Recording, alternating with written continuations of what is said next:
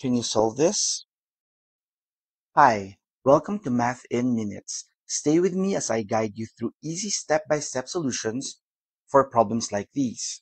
Let's make math simple, fast, and fun. Let's go. So what we will do here is we try applying the laws of logarithms. So log both sides. Log of 3 raised to x plus 4 is equal to logarithm of 5 raised to x plus 3. So what happens is we bring down the exponents to the front. So that becomes x plus 4 logarithm of 3 is equal to x plus 3 logarithm of 5.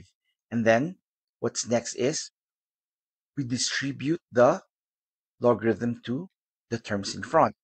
So this gives us x logarithm of 3 plus 4 logarithm of 3 is equal to x logarithm of 5 plus 3 logarithm of 5.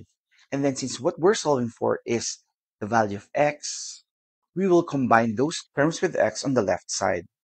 So that's x logarithm of 3 minus x logarithm of 5 is 3 logarithm of 5 minus 4 logarithm of 3.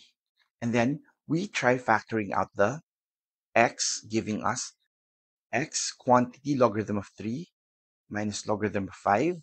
And then here, it's simply 3 logarithm of 5 minus 4 logarithm of 3. So divide everything by log 3 minus log 5.